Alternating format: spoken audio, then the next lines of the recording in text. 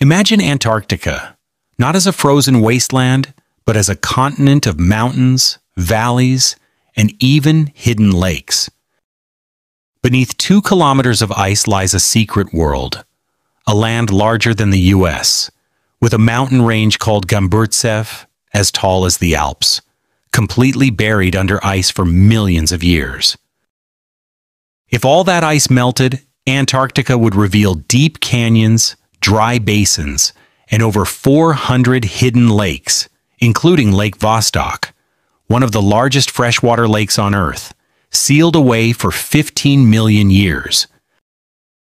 The coastline would flood, but the center would rise, turning the continent into an archipelago surrounded by shallow seas.